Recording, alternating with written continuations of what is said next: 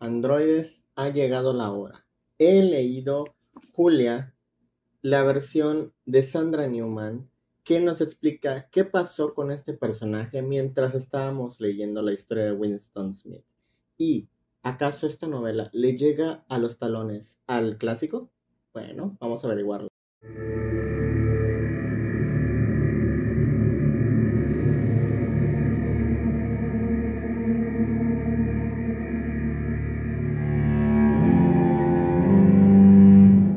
Queridos androides, mi nombre es Yeril Khan de Boy Meets Books. Espero se la estén pasando súper bien. Yo me siento de lo mejor. Y sean bienvenidos a este nuevo video. Hoy sí me encantaría hacer al 100% una reseña, pero también quiero hacer un poquito de análisis. Y esta, esta novela se presta justo para esto. Y sobre todo porque es de un clásico tú y yo conocemos. Julia de Sandra Newman nos va a traer la historia de este personaje. Esta mujer que Winston Smith se encontró, se enamoró y que además fue detenido junto con ella durante los eventos de 1984.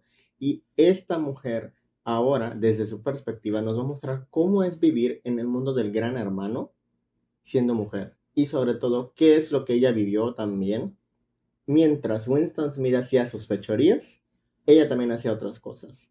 Nos va a mostrar que ella tiene una libertad sexual tan grande y aparte que ella desea, tiene muchas ambiciones y justo esas ambiciones la van a hacer llegar a un camino oscuro que probablemente haga o provoque lo que justamente ocurrió en 1984. ¿Qué es lo que va a pasar y cómo es que vamos a ver un mundo completamente diferente y muy rico?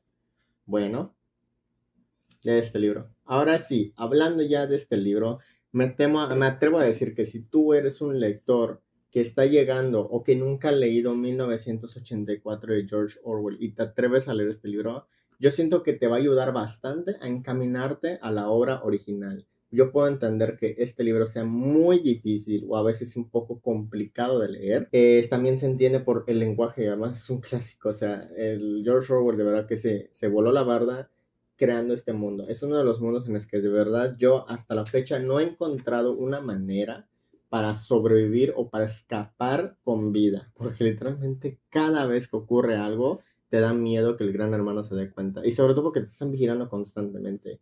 Y Julia aquí nos va a mostrar no solamente la perspectiva de qué es ser una mujer en el gran hermano, sino también qué es ser un prole.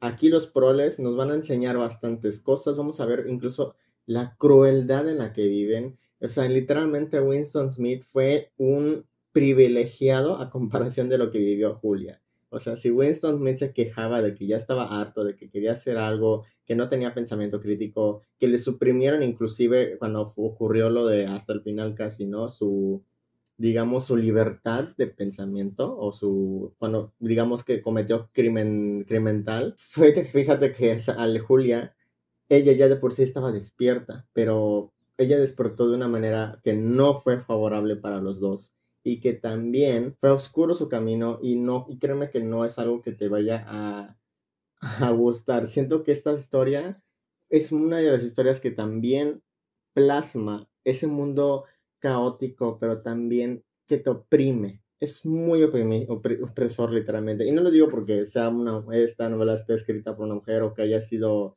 la protagonista es una mujer y que todo tenga que ser super opresor, no, sino literalmente todas, todas las personas están de acuerdo en, aquí con el personaje, que todo está en la vista del gran hermano y no pueden hacer nada. Y cuando logran encontrar un pequeño glitch, creo que justo eso es lo que el gran hermano quiere, que pienses, que tú pienses que hay una pizca de, de esperanza en tu, en tu vida para poder mínimo hacer o tratar de ir en contra del partido pero justo la, literalmente la esperanza, una vez que te la quitan, todo se te va, todo se te va y todo decae para ti. Entonces, creo que esta es una de esas, esas historias en las que representa bastante bien la pérdida de la esperanza. Y también me atrevo a decir que el final de Sandra Newman qué cardíaco y qué buenísimo es. Y aparte, literalmente yo sufrí con el personaje. O sea, literalmente entiendes al personaje. Sí, es un personaje oscuro que también llega a ser un villano, pero una vez que entiendes su contexto y por qué hace lo que hace, entiendes perfectamente el por qué y te das cuenta que es una víctima del partido. Entonces, si tú te pones a pensar, dices, yo creo que incluso eres capaz de hacer lo mismo que hizo ella con tal de sobrevivir a, este mundo. Literalmente este mundo es muy difícil para una persona y sobrevivir, sobre todo con, con el partido, está cañón. Entonces, imagínate que te sean seas manipulable. Creo que eso es lo que, lo que espanta de este libro.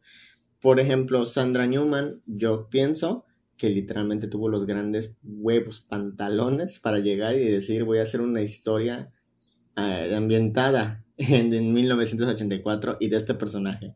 Fue muy bueno, hace una gran crítica obviamente al machismo y a la misoginia que hay en ese, en ese mundo y también nos va a expandir más cosas, muchas cuestiones como por ejemplo el partido permitía la homosexualidad, permitía también tal vez em, alguna otra cosa, el mercado negro, cosas así, o sea, literalmente nos explica más cosas y ahora sí también le da sentido a lo que probablemente Winston Smith vivió. Entonces, ayuda, se complementa y eso me gusta bastante. Pero bueno, mis androides, espero les haya gustado este video. Esta fue mi recomendación, fue mm, Julia de 1984 con Sandra Newman, escrito por ella. Entonces, ¿la recomiendo? Bastante. Tienes que leértela, es una joya de la literatura ya.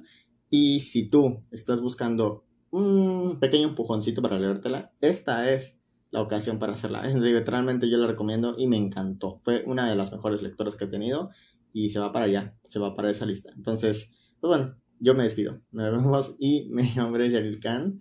Y pues aquí nos veremos en otro video, probablemente en el mes del terror o en otro videito antes de que sea octubre. Entonces cuídense mucho y bye bye.